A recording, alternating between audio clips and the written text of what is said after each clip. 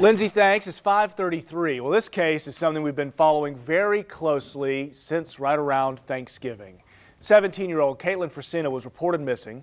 She had run off with 27-year-old Ryan Rodriguez, apparently. Rodriguez now back in Florida facing a felony charge of interference with child custody. First Coast News' Juliette Dreyer now live in Columbia County with more on this case and what could happen today specifically. Juliette?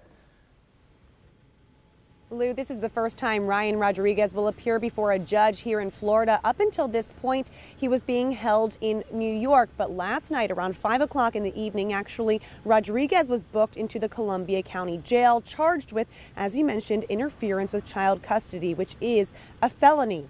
The former assistant soccer coach is accused of running away with a 17-year-old in late November, sparking a nationwide search.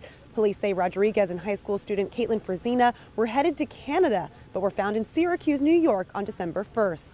Frisina's father revealed he got Rodriguez a coaching job for the boys soccer team at Fort White High School. That's the same school for which Fresina played soccer herself.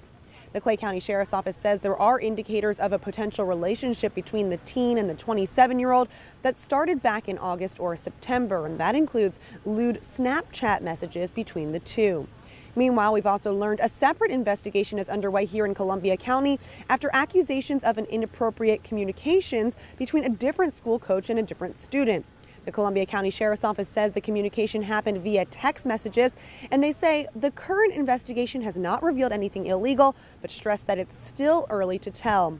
And Ryan Rodriguez will appear in court via video from the jail around 7.30 this morning, and we do have a crew here, and we'll keep you updated throughout the morning on air and online. Live in Lake City, Juliette Dreyer, First Coast News on your side.